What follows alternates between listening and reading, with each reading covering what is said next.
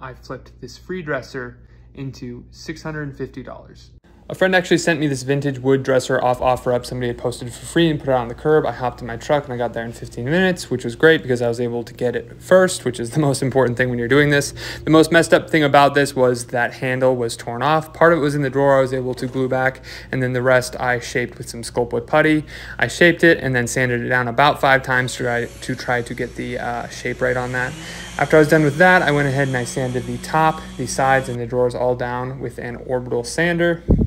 I then used this Danish oil to go ahead and bring that color back to the walnut. As you can see there, the, the shape's right. And then as I painted each and every um, handle, I made sure that it was uh, even looking across the board.